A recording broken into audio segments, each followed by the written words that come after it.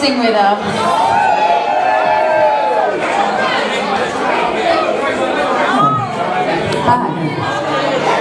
We're going to do a bit of quintessential pub rock, my friend. Hope poor Mitch, he hasn't got any idea what we're about to play. No, yes. Ladies and gents, make some noise for Mitch, please.